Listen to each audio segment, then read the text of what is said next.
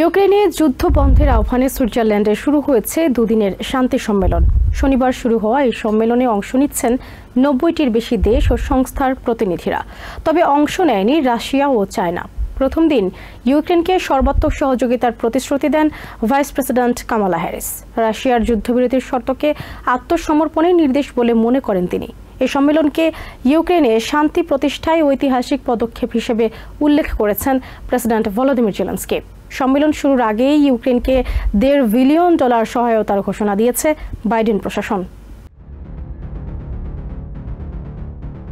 ইউক্রেনে দখলকৃত অঞ্চলগুলো থেকে সেনা সরিয়ে নিতে প্রেসিডেন্ট ভ্লাদিমির পুতিনের যুদ্ধবিরতি মেনে নেয়ার ঘোষণার পরই সুইজারল্যান্ডে এই সম্মেলন শুরু হলো।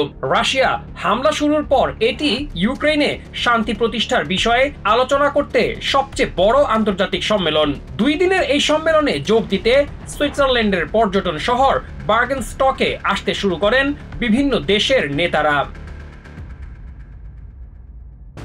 ইউক্রেনে শান্তি প্রতিষ্ঠায় সবচেয়ে বড় এই আন্তর্জাতিক সম্মেলনকে ঐতিহাসিক পদক্ষেপ হিসেবে আখ্যায়িত করেন প্রেসিডেন্ট ভলোদিমির জেলেন্সকি। তিনি বলেন রাশিয়া আগ্রাসন না চালালে ইউক্রেন কখনোই যুদ্ধ করত না।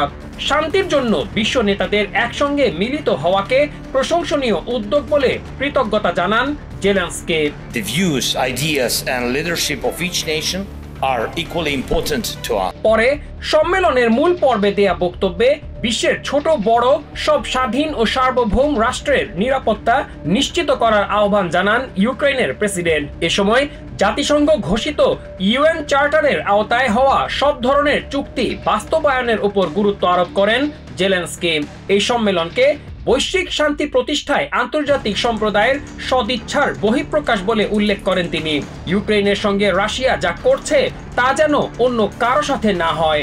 Putin has taken the lives of thousands of our people. ইউক্রেনের জন্য সব ধরনের সহযোগিতা অব্যাহত রাখার ঘোষণা দিয়ে রাশিয়ার চলমান আগ্রাসনের কঠোর নিন্দা জানান ভাইস প্রেসিডেন্ট কামালা হ্যারিস। তিনি বলেন, প্রতিটি স্বাধীন দেশেরই নিরাপত্তা ও সার্বভৌমত্ব রক্ষা করা উচিত। শক্তি প্রয়োগ করে কেউ যেন কোনো স্বাধীন দেশের সীমানা পরিবর্তন করতে না পারে তা নিশ্চিত করার উপর গুরুত্ব আরোপ করেন কামালা। ইউক্রেনের মতো মিত্র দেশের উপর হামলা, আমেরিকা ও তার নাগরিকদের জন্য হুমকির উল্লেখ করে রাশিয়ার মতো শক্তিকে প্রতিহত করতে আন্তর্জাতিক সম্প্রদায়ের প্রতি আহ্বান জানান vice president governments must protect. The rule of law must be cherished. European কমিশনের president Ursula von der Leyen বলেন ইউক্রেন কোনো রকেট হামলা চায় না তারা চায় শান্তিপূর্ণ জীবন তারা চায় তাদের সন্তানদের জন্য নিরাপত্তা তাদের এমন আকাঙ্ক্ষা বিশ্বের প্রতিটি দেশের নাগরিকই চায় যে কারণে তারা এই সম্মেলনে অংশ নিচ্ছেন বলে জানান von der Leyen They want the missiles to stop hitting their cities.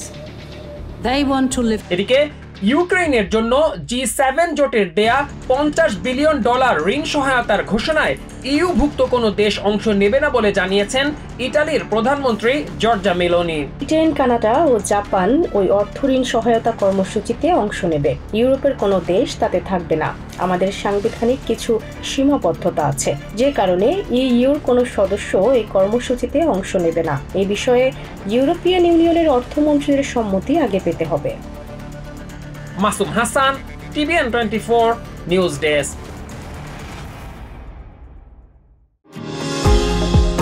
New York থেকে সম্প্রচারিত টিভিএন টোয়েন্টি ফোর টেলিভিশন, বিশ্বজুড়ে বাঙালির কণ্ঠস্বর।